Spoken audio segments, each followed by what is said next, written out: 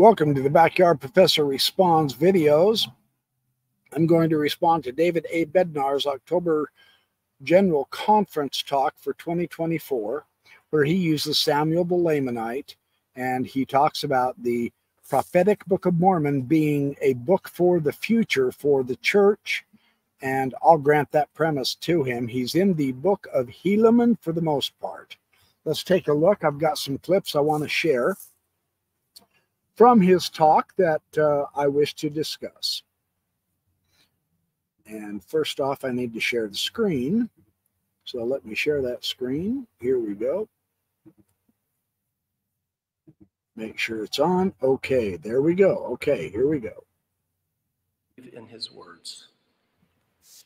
Perhaps the most stunning and sobering aspect of this decline into apostasy by the Nephites is the fact that all these iniquities did come unto them in the space of not many years.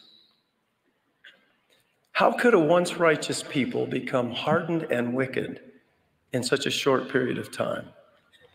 How could people so quickly forget the God who had blessed them so abundantly? In a powerful and profound way, the negative example of the Nephites is instructive for us today.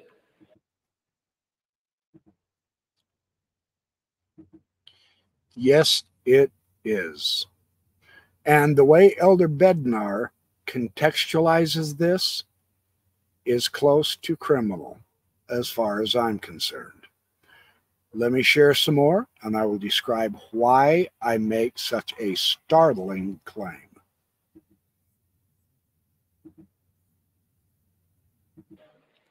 Pride began to enter into the hearts of the people who professed to belong to the church of God because of their exceedingly great riches and their prosperity in the land.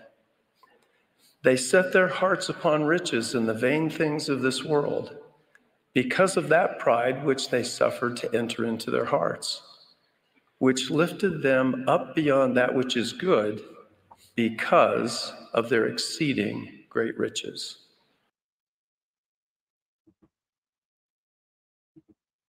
The issue here is exceeding great riches. Now, I am not a rich man. I don't think I'm ever going to be able to retire as far as that goes. I have next to nothing. I live in a very small house, etc., etc. I don't have any of the fun toys at all. Exceeding great riches. The church has come forward, and because it was fined by the SEC for illegal maneuverings of their money, it was fined and it accepted to pay that fine and admission to the guilt. It's not about the size of the fine, like several Mormon apologists have said. It's the fact that they admitted they were guilty and they paid that fine. You can find this on YouTube. Look it up SEC fines and Mormonism. So, exceeding great riches.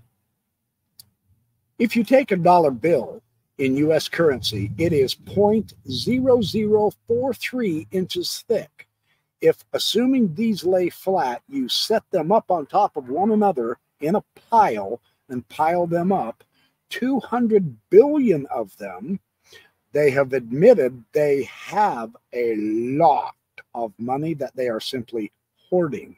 They're not doing anything with except making more money with it in their investments. The height of that pile of 200 billion $1 bills is would anyone care to guess? It will blow your frickin' minds. 13,784 miles high. Now, by any definition you can come up with, that equals exceeding great riches. And unfortunately, the brethren have set their hearts upon those riches. They have no interest in doing good with that money except making more money buying cattle farms. Yes, once this SEC fine came out, the church did go from an absolute stingy 40 million to $1 billion given in charity. They have the power quarterly, four times a year, to use their wealth to produce another two to four billion dollars, and the tithing they get is seven billion annually.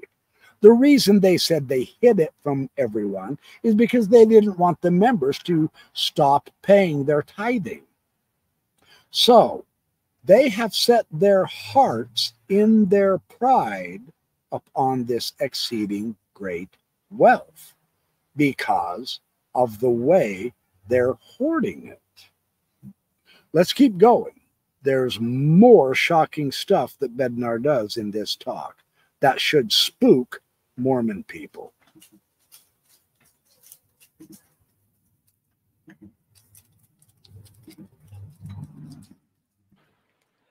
Ancient voices from the dust plead with us today to learn this everlasting lesson. Prosperity, possessions, and ease constitute a potent mixture that can lead even the righteous to drink the spiritual poison of pride. Amen and amen.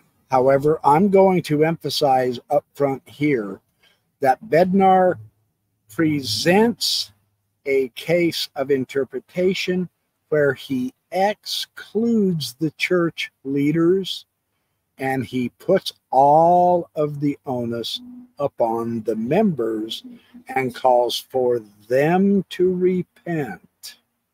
This is where I disagree with Elder Bednar. No one is exempt. Let's keep watching.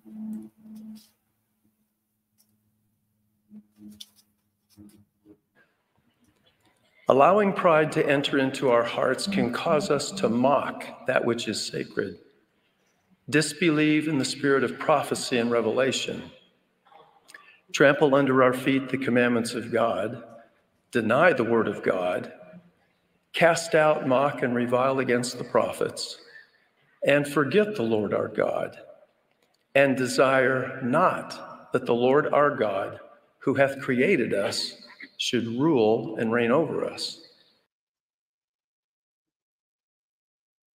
I would also add that that kind of pride can lead you to take so vast amount of wealth and just sit on it and do nothing with it in relation to the amount they can make and what they do possess right now they give the stingiest amount of charity of the vast majority of other groups on our planet. Ultimate stingy. So he's going to say things that we critics are doing. It causes us to criticize the prophets.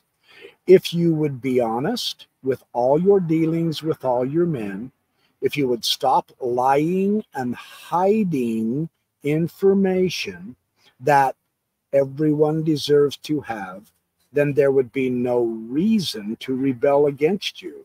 The cause of the rebellion is not the people losing the Spirit of God so much as it is calling out the prophets for their deliberate choices to live a life of deception while being able to dress in very nice, rich suits gather in filthy, huge, rich mega buildings and preach God's word, such as that done at General Conference.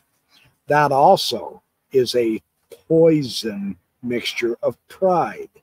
To say we don't apologize for anything is pride. The church has come out through Dallin Oaks saying the church apologizes for nothing. So that's my take on that. But it gets worse. Let's take another look.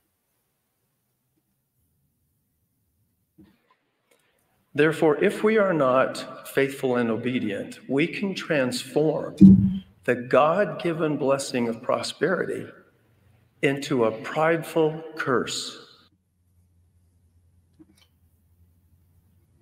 If we are not faithful, then we can turn this pride into a curse, faithful and obedient. Yes, sir, Elder Bednar. That includes the church leaders. Nowhere in the New Testament, nowhere in the Book of Mormon, nowhere in the Doctrine and Covenants or the Pearl of Great Price can I find Jesus Christ saying to do with your exceeding great wealth what you are doing. The amount of enormous good the church can give is non existent. They hoard the money for a rainy day. Your leader's words, not mine. So understand this applies to you as well. Jesus never taught to ignore the poor like you do in your own city of Salt Lake City. They are on the streets by the thousands.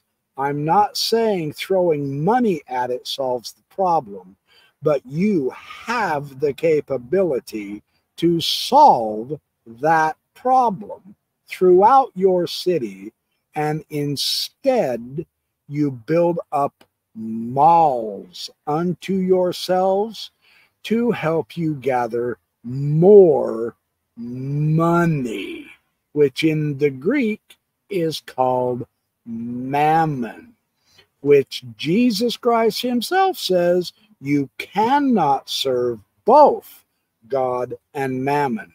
You have to choose one or the other. And we have seen, based on the words of your own leaders, where the church chooses to put its heart. And this is not wanted to be talked about in church. But those are the facts. Let's keep going. Because unfortunately, it gets worse. That diverts and distracts us from eternal truths and vital spiritual priorities. We always must be on guard against a pride induced an exaggerated sense of self importance.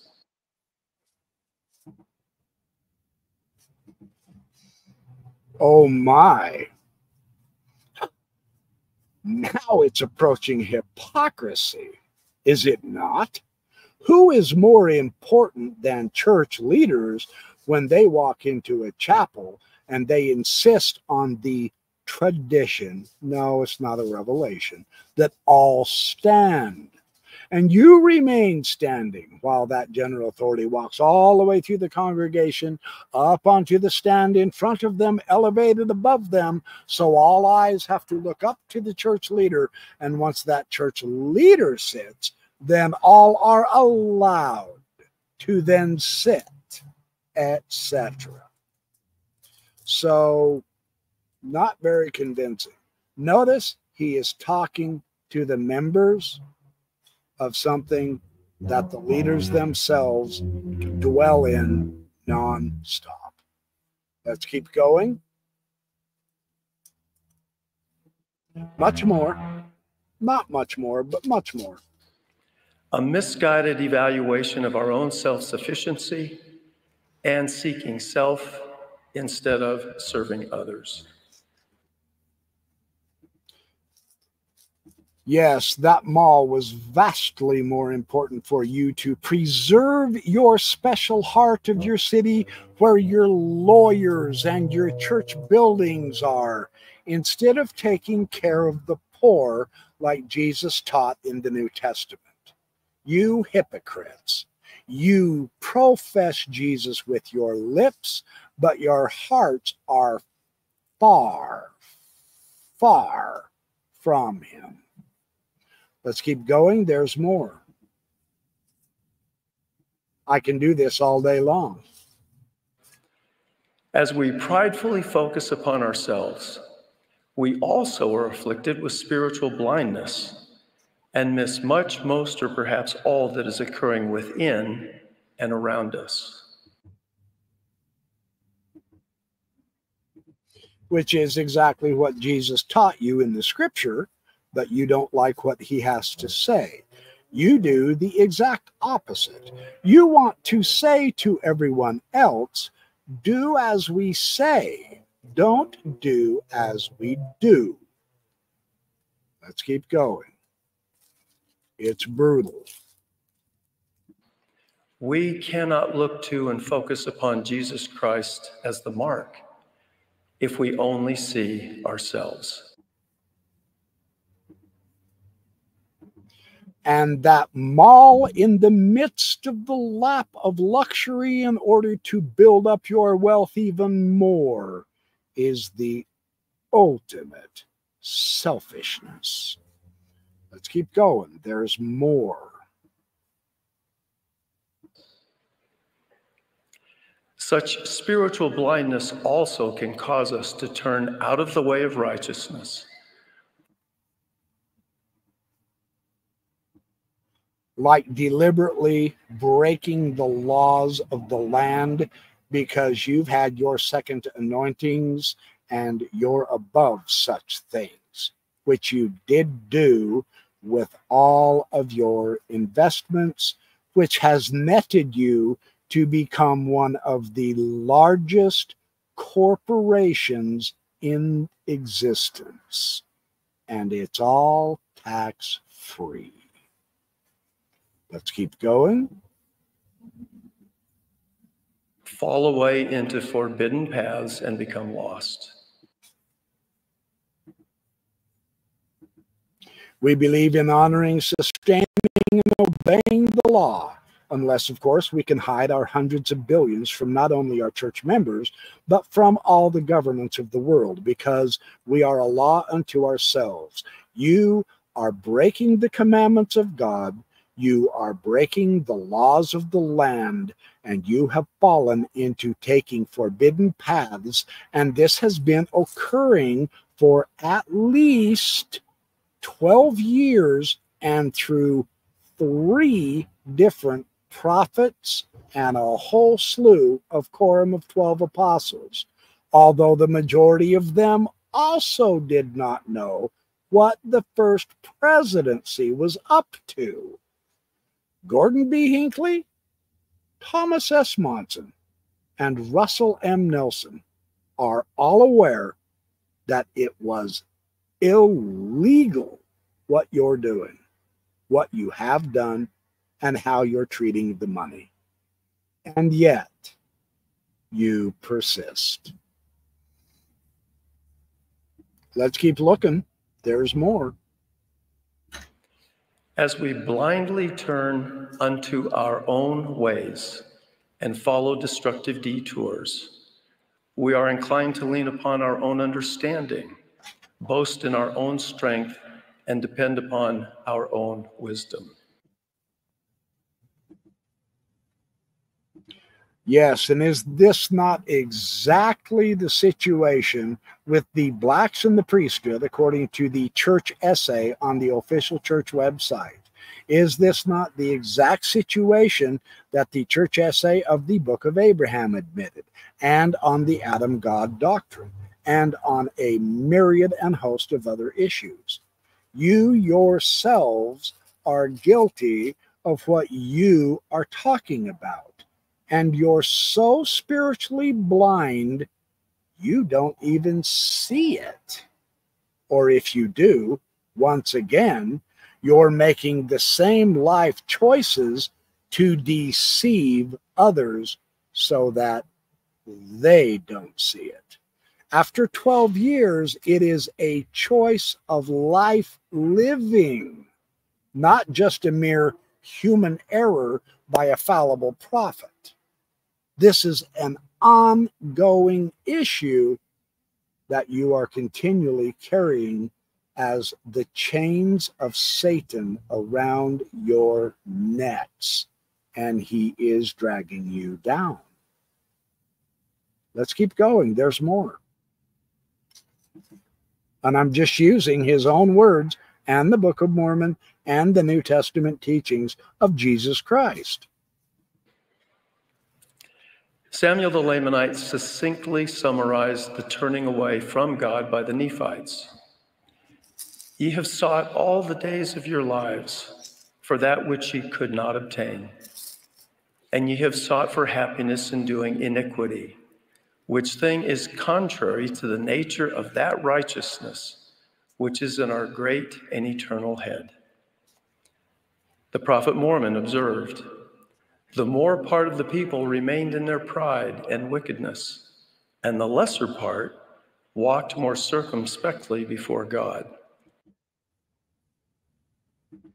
Now, here is something that will probably offend a boatload of Mormons. I get it. But the more larger part of the people of the Nephites, including the church, there is no exclusion of the church in Samuel the Lamanite's prophecies, but the more part continued in their wickedness, hoarding their money, setting their hearts upon their great exceeding riches, and the lesser part began to be and kept their circumscribing with their God. Well, that describes today. There's a much smaller part of us who are taking exception to the life choice of the leaders being deceptive continually and cheating and lying and breaking the law to acquire vast amounts of wealth, all contrary to everything Jesus Christ taught. They allow the poor to wallow in their streets, suffering, because the church is grinding the faces of the poor by making the central part of their city where all of their lawyers and church offices and apostles and prophets and 70s hang out with wonderful, luscious, voluptuous malls so that they can buy all the goods of the world because they know you can buy anything in this world for money and they let the poor rot on their own streets. But there's more. I'm describing what I myself have witnessed in Salt Lake City. I'm not just trying to be a critic. This is serious. In the book of Helaman, the increasing righteousness of the Lamanites provides a stark contrast to the rapid spiritual decline of the Nephites. The Lamanites turned to God and were brought to a knowledge of the truth by believing the teachings in the Holy Scriptures and of prophets. And there you go. We poor are doing that. We are finding that what Jesus Christ taught is not what the church leadership is doing at all. So this has a direct application. But notice how cleverly Bednar is going to switch this so that he assumes it's the church leadership who is being the righteous ones because they have the power of the pulpit in general conference. But I don't accept this. And here's why. Exercising faith in the Lord Jesus Christ repenting of their sins, and experiencing a mighty change of heart.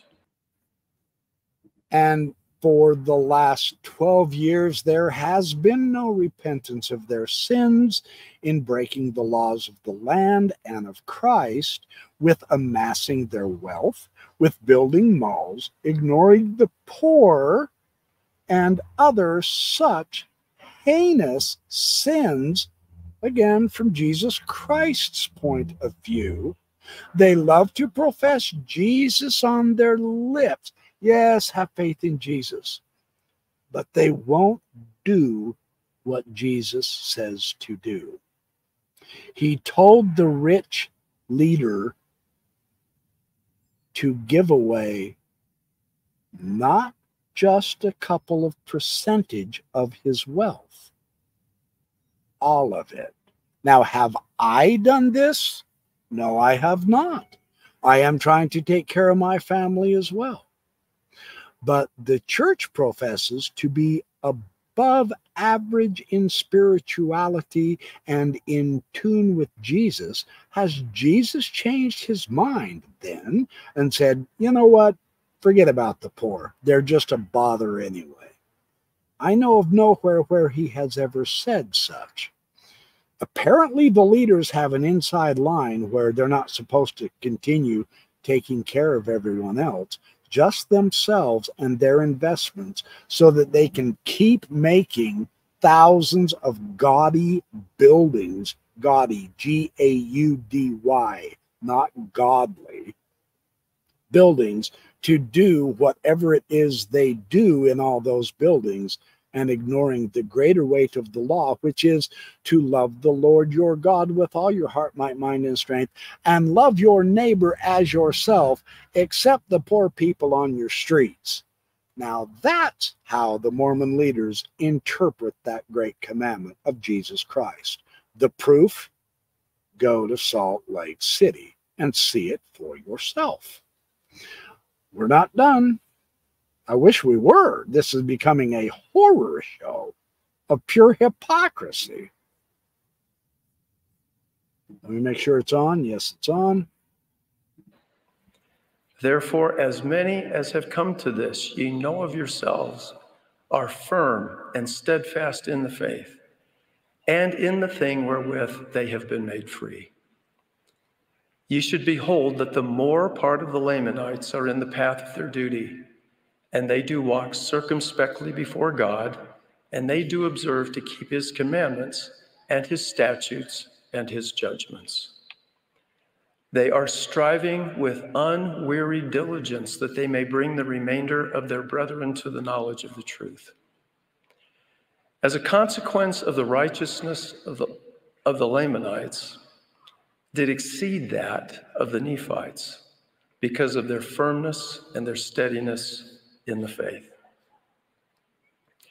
Moroni declared, Behold, the Lord hath shown unto me great and marvelous things concerning that which must shortly come, at that day when these things shall come forth among you.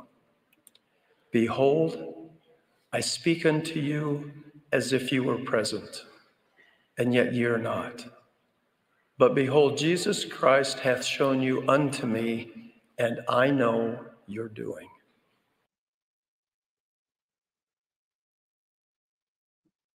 So, how on earth, knowing that, can the church leadership continue in choosing their life path of pursuing mammon is utterly beyond me except perhaps for the fact that they don't really believe what the Book of Mormon says anyway. Let's keep going. Please remember that the Book of Mormon looks to the future and contains important principles, warnings, and lessons intended for me and you in the circumstances and challenges of our present day. Amen, Brother Ben. Now, here he's disarming his audience, us, because he said me and you, etc. But this involves the entire church leadership and their collective unifying agreement now to continue sustaining each other, even though now, instead of just the first presidency knowing about how they acquired their wealth and are not using it, now they've been sustained in General Conference.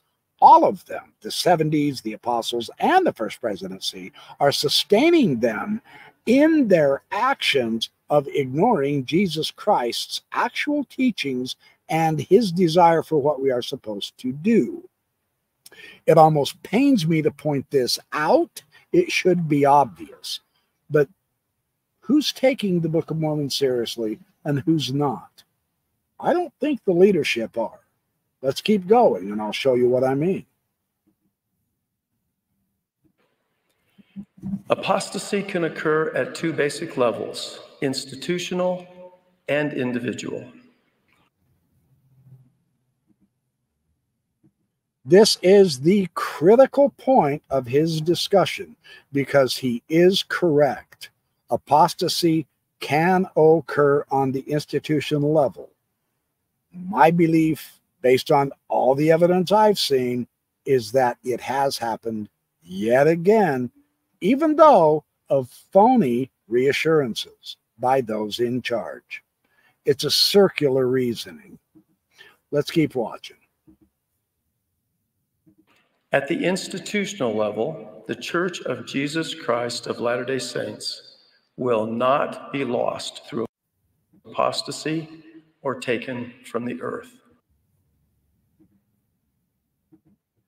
That's not true. Watch how he miscontexts this. It's amazing. In other words, you can't blame the leadership. Only you, members, apostatize. Us, we, nope, we don't apostatize. This is where I disagree with this gentleman.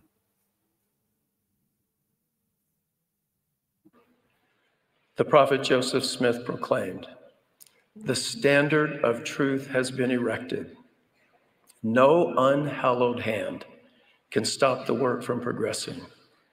The truth of God will go forth boldly, nobly, and independent till it has penetrated every continent, visited every clime, swept every country, and sounded in every ear, till the purposes of God shall be accomplished, and the great Jehovah shall say, The work is done. Yes, and notice he's insinuating that this means Joseph Smith is talking about the church. You don't hear the word church in that quote, however. Now, I have not had a chance to read the full quote. So, I honestly, at this point, don't know either. I'm open to correction. But the truth will go forth independently, Joseph Smith said, regardless of what the institution says.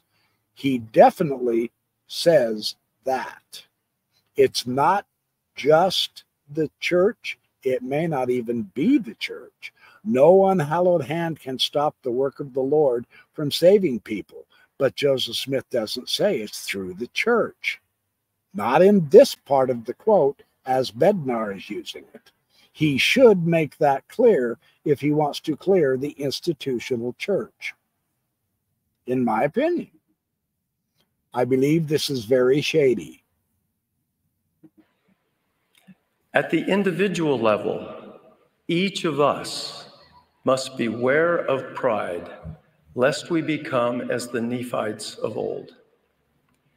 May I suggest that if you or I believe we are sufficiently strong and stalwart to avoid the arrogance of pride, then perhaps we already are suffering from this deadly spiritual disease. all of the life choices that I've seen the top echelons of the Mormon church, the Church of Jesus Christ of Latter day Saints, make in regards to money, in regards to telling the truth about their history, in regards to hiding the child sex abuse scams that are going on, in regard to the heinous issues with Tim Ballard, whom the brethren propped up to almost be like the Savior, astonishingly enough, all of that indicates to me that they have already fallen into this disease of pride because of their exceeding great wealth. Their riches give them the green light in their minds to be above the law, but they are not but they imagine they are. Otherwise, why are they ignoring Jesus and breaking all the laws they possibly can to acquire that which cankers their own soul? And if they are doing it under the auspices of the church, then that is cankering the church's soul And that's the definition of apostasy. Let's keep going. We're about done. Simply stated, if you or I do not believe we could be afflicted with and by pride, then we are vulnerable and in spiritual danger. In the space of not many days, weeks, months, or years, we might forfeit our spiritual birthright for far less than a mess of pottage.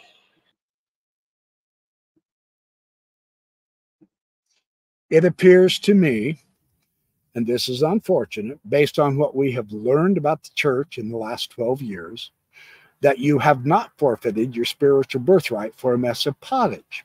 You have forfeited your spiritual birthright for the most astonishing mountain of money that we can't even comprehend, and that you abuse that blessing by hoarding it, throwing out a mere billion in charity only one time in order to be able to say, look how much we're giving in charity.